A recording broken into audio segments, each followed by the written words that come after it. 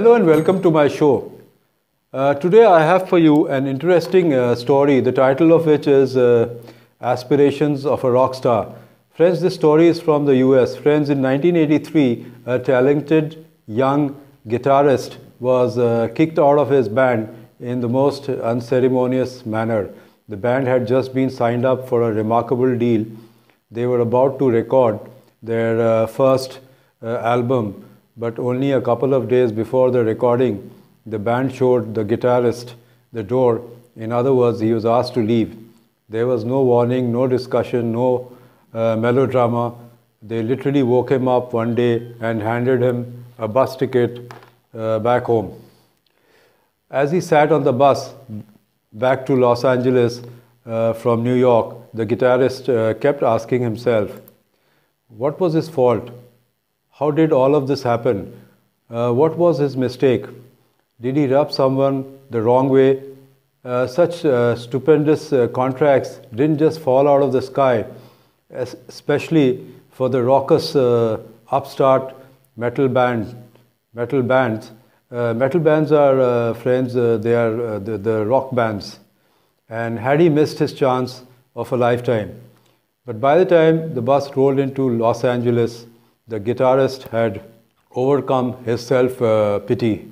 He vowed to start a new band. He decided that his new band would be so very successful that his old band would forever regret their decision of having fired him.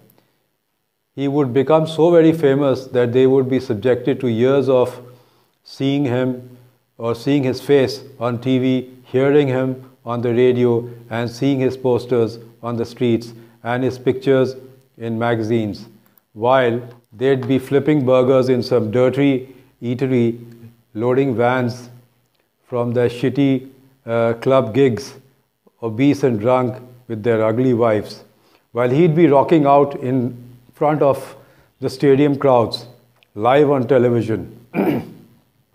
and as a sadist, he would bathe in the tears of his betrayers, and each tear would be wiped dry by a crisp, clean uh, $100 bill. So these were the, th the, thoughts that he was getting. Thereon, the guitarist worked as if uh, he was possessed by some musical demon. He spent months recruiting the best musicians he could find, far better than his uh, previous bandmates. He wrote dozens of songs and uh, practiced uh, meticulously. his seething anger fueled his ambition. Revenge became his muse. Within a couple of years, his new band had signed a record deal of their own, and a year after that, uh, their first album was uh, going gold. In other words, it had achieved a sales level meriting a golden disc. So that was the success he achieved. The guitarist's name was Dave Mustaine, Dave Mustaine. And the band he formed was the legendary uh, heavy metal band Megadeth. Now, Megadeth went on to sell over 25 million albums and went around the world many times.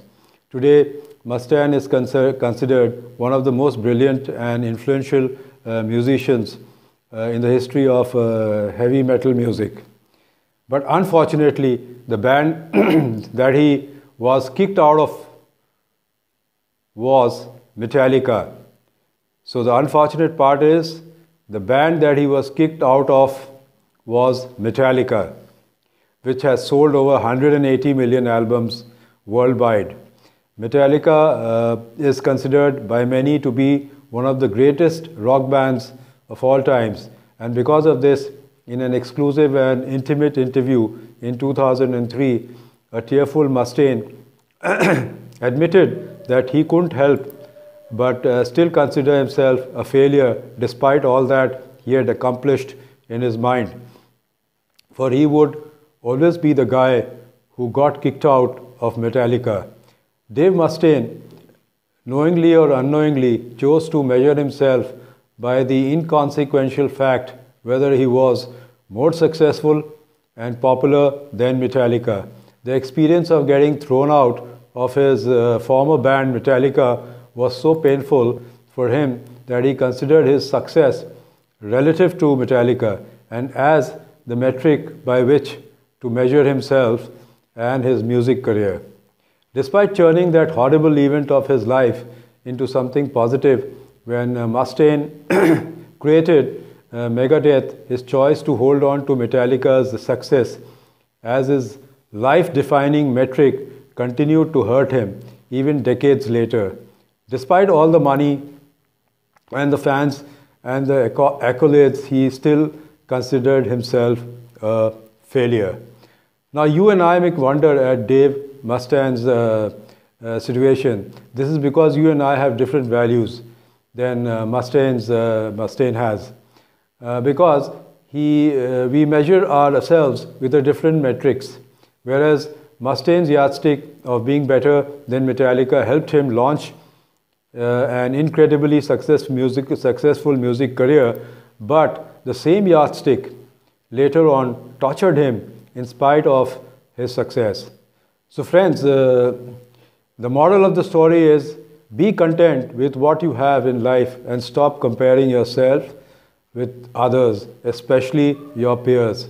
So, friends, that's all I have for today. If you've liked my show, kindly share it and also press the like icon. Also, subscribe the channel by pressing the red icon and don't forget to press the bell so that you are notified each time we upload a video. And for now, goodbye and see you soon.